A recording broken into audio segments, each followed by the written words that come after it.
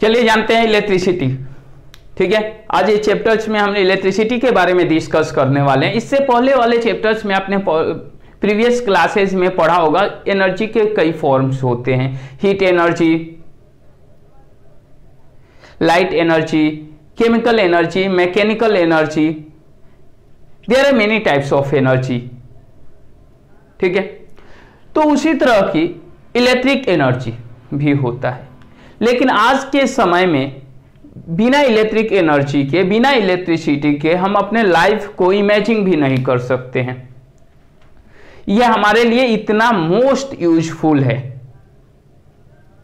It can be convert to almost all form of energy easily and can be storage transmitted over the long distance with very little wastage जो electric energy को store कर सकते हैं, एक जगह से दूसरी जगह ट्रांसमिट कर सकते हैं।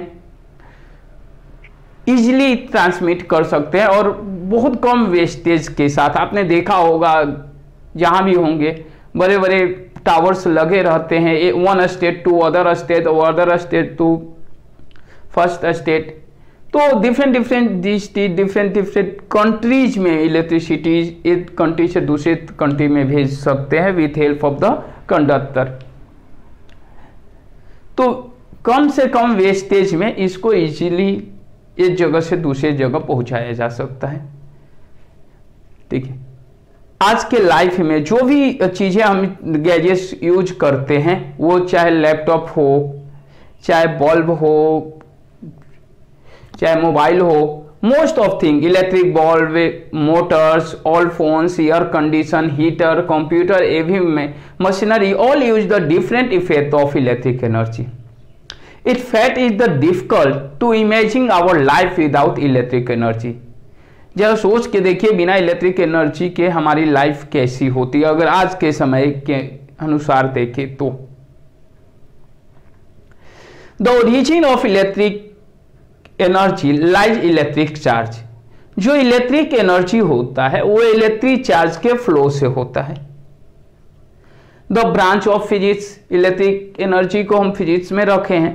We deal with the study of electric charge and their effect is called the electricity. Electric charge को हम जिस तरह से डील करते हैं, उस, उसी चीज़ को हम लोग इलेक्ट्रिसिटी बोल सकते हैं। तो अगर मान इलेक्ट्रिसिटी को अगर डिफाइन करेंगे तो एक लाइन में कर सकते हैं the flow of the flow of electric charge is called electricity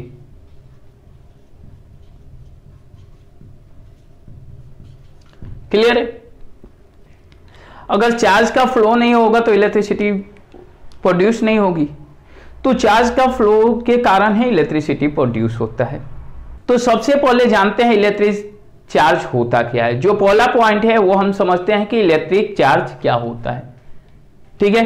तो what is the electric charge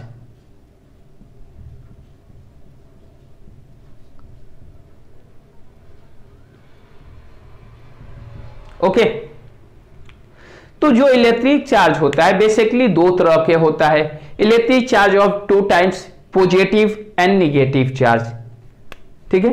तो फ़र्स्ट पॉइंट लिख लेते हैं। Electric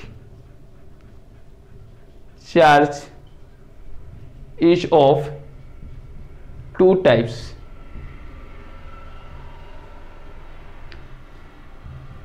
positive and negative clear है?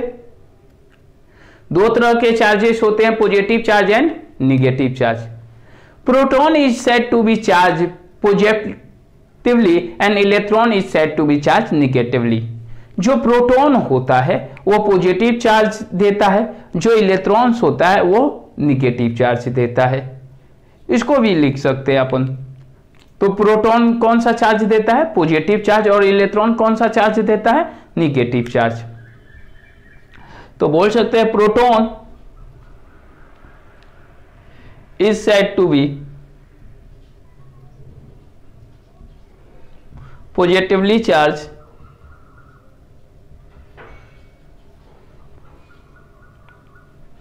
and electron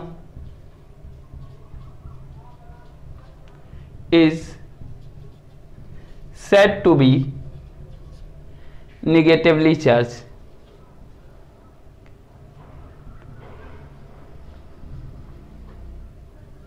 Okay ठीक है. थर्ड पॉइंट इसके बाद आते हैं सेकेंड पॉइंट्स पे. कि जो लाइक चार्ज होते हैं, यानी लाइक चार्ज कौन से चार्ज होते हैं? जो सेम तरह के चार्ज होते हैं पॉजिटिव पॉजिटिव निगेटिव निगेटिव इस तरह के चार्जेस लाइक चार्ज कहलाएँगे। तो like charge are repel and unlike charge attract like charge repel and unlike charge attract Does a proton repel a proton and attract an electron? तो same charge अगर जो है, वो लाइक चार्ज है, वो repel करेगा। और अनलाइक चार्ज जो है जो डिफरेंट है, एक प्रोटॉन है, दूसरा इलेक्ट्रॉन है तो वो क्या करेगा? अट्रैक्ट करेगा। ठीक है? तो अपन बोल सकते हैं, ऐसे समझने के लिए does a proton repel to proton clear? Proton repel to proton and attract an electron and proton attract to electron ऐसे भी बोल सकते हैं। क्लियर है? या या ऐसे भी लिख सकते हैं electron repel to electron and electron attract to proton electron repel to electron and electron attract to proton clear है? नेक्स्ट पॉइंट पे आते हैं। A force of electron are repulsion between two charge. जिसको कॉलम ने दिया था। एक दो रिपल्सन के बीच में जो फोर्स लगता है। लाइक अब समझते हैं ये बात कि हमने बोला कि सेम चार्ज अगर रहेगा लाइक चार्ज रहेगा तो वो क्या करेगा? रिपेल करेगा। क्लियर है ये बात? अगर रिपेल करेगा तो वो उसके बीच कोई ना कोई तो फोर्स लगता होगा। दो, अगर दो चार्जेस है, आपस में रिपेल कर रहा है तो उनके बीच कोई ना कोई तो फोर्स लगता होगा। क्लियर है? वो फोर्स के कारण ही दूर जाएगा दूसरे से रिपेल करेगा। ठीक है? तो उस कौन सा फोर्स लगता है और कितना फोर्स लगता है, ये समझते हैं। क्लियर है? तो उस the force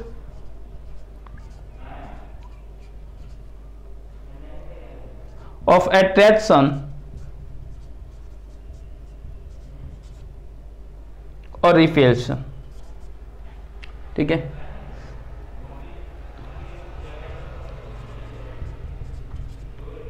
The force of attraction and repulsion between two charge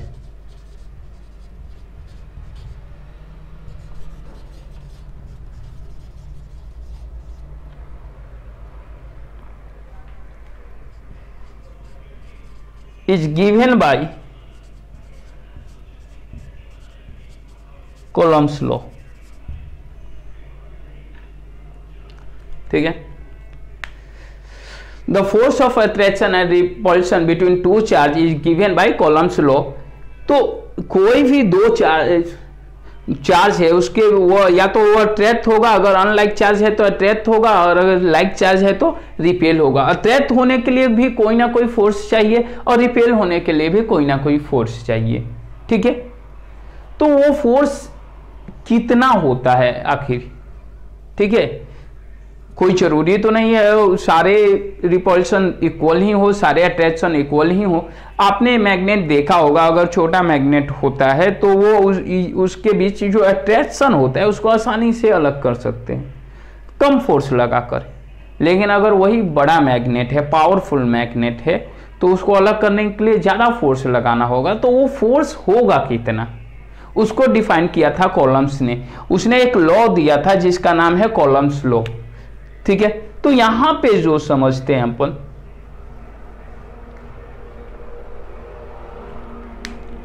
वो इधर से आएगा। मान लेते हैं, देख लीजिए, समझ तो आइए क्या होगा। तो वो यहाँ से हम देखते हैं कि फोर्स इक्वल टू होता कितना है। तो फोर्स इक्वल टू होता है k q one q two by r square ठीक है? K q one q two by r square यही रूल यहाँ काम करता है। यहाँ पे क्यू वन और क्यू टू दोनों चार्ज का पावर है। जो दो ऑब्जेक्ट्स हैं, जो दो चार्जेस हैं, या वो पॉजिटिव हो या वो निगेटिव हो, या निगेटिव हो या पॉजिटिव हो, कोई भी दो चार्जेस हैं, ठीक है? वो और उनके बीच का डिफरेंसेज उस पर ये डिपेंड करता है, ठीक है? तो और इसको अगर एक्सप्लेन करना शुरू करते हैं तो कहाँ तक आएँगे? तो देखिए, ध्यान देते हैं। तो k is constant proportion k is constant proportion के जो है, यहाँ पे कांस्टेंट है। उसे मैनेज करने के लिए ठीक है? और Q1 और Q2 क्या है? इज़ चार्ज दोनों क्या है? चार्ज है। नेक्स्ट वन आते हैं, आर। आर क्या है? डिस्टेंस बिटवीन देम दोनों के बीच का डिस्टेंस क्लियर हो गई बात?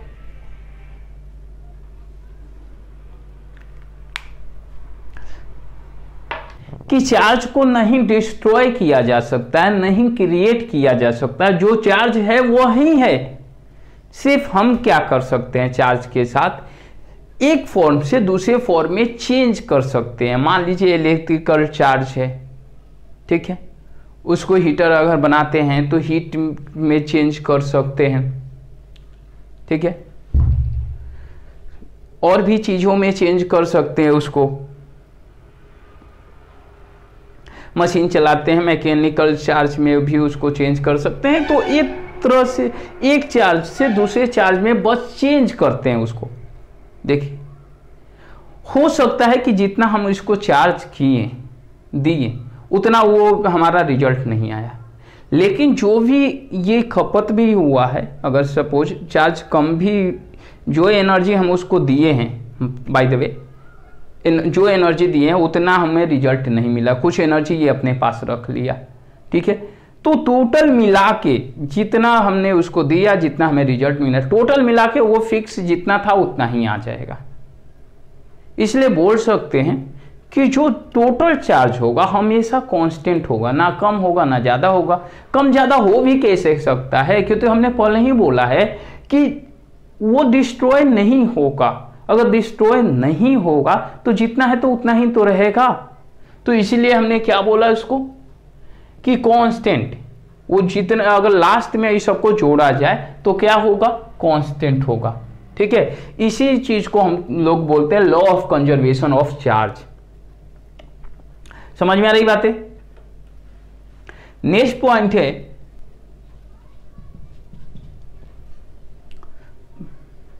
देखते हैं proton and electrons are elementary charge particles through the charge on them opposite nature, the magnitude of charge possessed by them is same. अगर प्रोटॉन और इलेक्ट्रॉन की बात करते हैं, दोनों चार्ज पार्टिकल है, दोनों पर चार्ज होता है। और सबसे बड़ी बात है कि दोनों पे डिफरेंट चार्जेस होता है। Proton have a positive charge electron have a negative charge but दोनों के ऊपर जो चार्जेस होते हैं, वो सेम होते हैं। जितना एक प्रोटॉन पे चार्ज होगा, उतना ही चार्ज एक इलेक्ट्रॉन पे भी होगा। ठीक है? लेकिन डिफरेंसेस सिर्फ़ इतना है तो एक पॉजिटिव में होगा, दूसरा निगेटिव में होगा। अगर सेम प्रोटॉन और सेम इलेक्ट्रॉन है तो दोनों बैलेंस कर जाएँगे। ठीक है? तो ये भी पॉइंट देख लीजिए आप। Proton and electron are elementary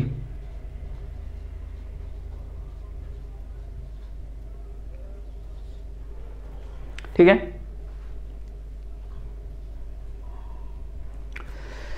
charge particles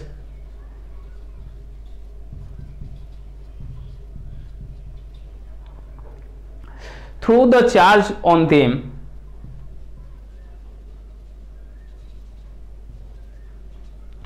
through the charge on them. Is opposite.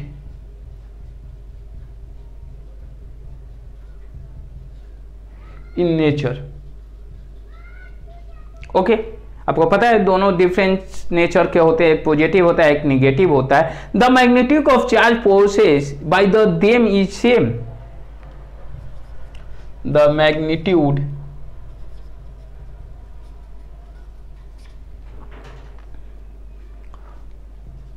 of charge.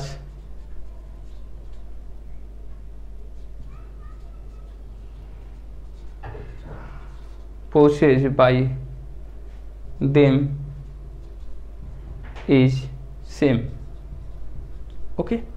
कितना होता है चार्ज आप पहले भी पढ़े होंगे कि वन इलेक्ट्रॉन कितना चार्ज रखता है? वन प्रोटॉन कितना चार्ज होता, रखता है? One point six into ten के पावर माइनस नाइनटीन कॉलम। इतना ही चार्ज प्रोटॉन भी रखता है, इतना ही चार्ज इलेक्ट्रॉन भी रखता है। ठीक है? Charge on the body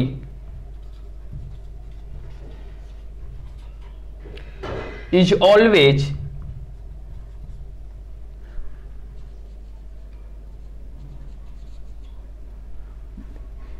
an internal multiples मतलब कि एक पे इतना होता है, जितना ज़्यादा रहेगा, उतना ज़्यादा ये होता जाएगा।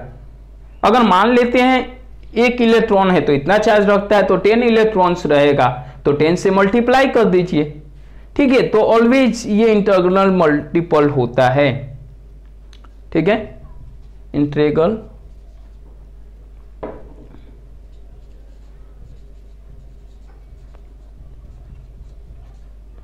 ठीक है? Of this value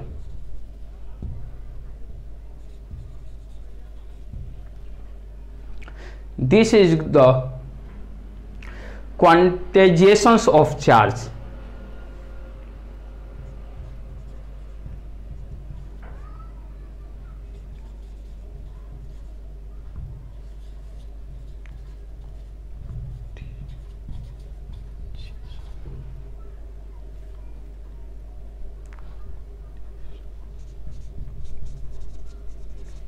clear होगी बात तो जितना प्रोटॉन चार्ज रखता है, उतना ही इलेक्ट्रॉन्स भी चार्ज रखता है बट दोनों डिफरेंसेज नेचर होते हैं। दोनों का, देखिए, दोनों का जो प्रॉपर्टी है ऑलमोस्ट सेम होता है, ठीक है?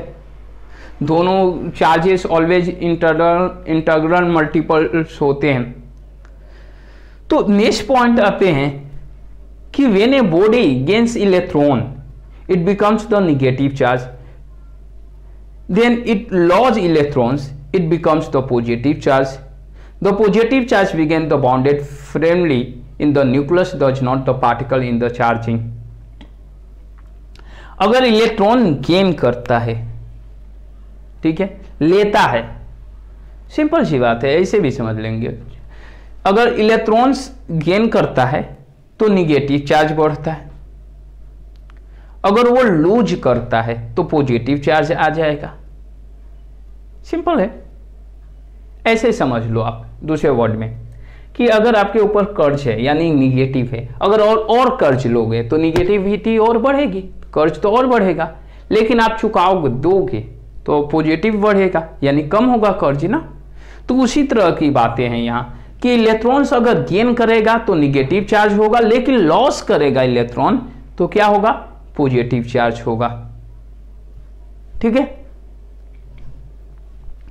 तो नेक्स्ट पॉइंट देख लेते हैं।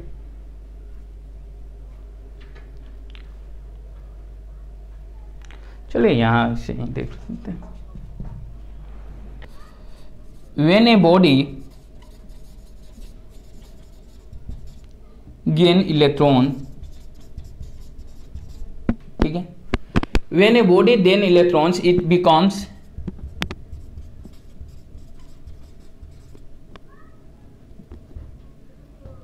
negative charge clear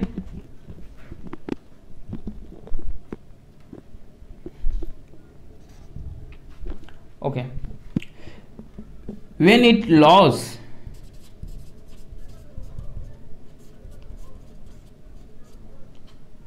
ठीक है when it loss या loses electron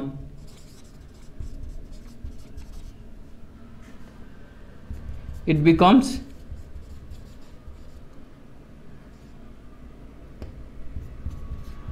positive charge. Clear है?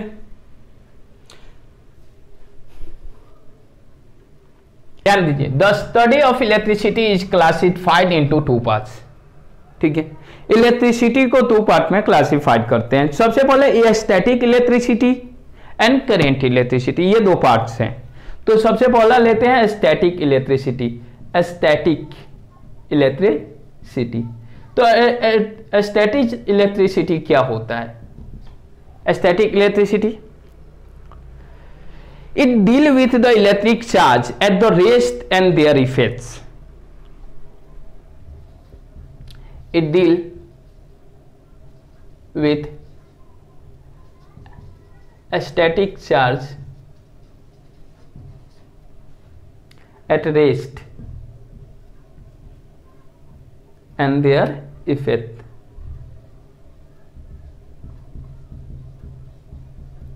ठीक है?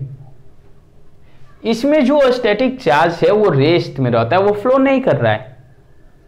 ठीक है? तो वो स्टैटिक इलेक्ट्रिसिटी होगा। दूसरा आते हैं करेंट इलेक्ट्रिसिटी करेंट इलेक्ट्रिसिटी ठीक है? तो करेंट इलेक्ट्रिसिटी में क्या होता है? It deal with the charge in motion यहाँ पे चार्ज जो है, वो मोशन में रहता है।